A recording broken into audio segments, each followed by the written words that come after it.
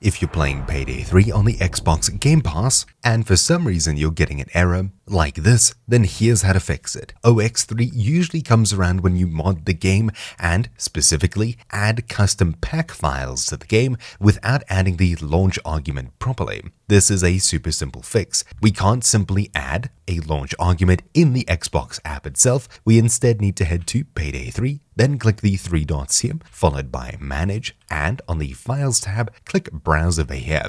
It'll take us straight to where the game is installed. Then head into Payday 3, followed by Content, Payday 3 in all caps, Binaries, WinGDK for the Xbox Game Pass, right-click Payday 3 client.exe, and create a desktop shortcut. For me, it's hidden away in More Options in my custom context menu. Once you have this shortcut, you can rename it something like Payday 3, for example, then right-click it and hit Properties. Inside of here, you'll find the full path to the exe inside of double quotes. After the very last one, add a space followed by a hyphen, and we'll type in file open log as such, one word, hit apply, OK, and now we can move the shortcut to our desktop where we can simply launch the game up from and this time you should see that we hit the main menu without any further errors, obviously assuming your mods are working properly. Usually that's the cause of this issue, it's the most common problem and in future just make sure you launch the game through that desktop shortcut that you created and not the official Xbox app, otherwise it just won't launch up properly. That one launch argument is most likely what's causing your issue. If you haven't installed any mods, it's a good idea to verify game files and continue troubleshooting, but this is probably the cause. So anyways, hopefully you found this video useful. Thank you for watching. Mine has been TroubleChute, and I'll see you all next time. Ciao.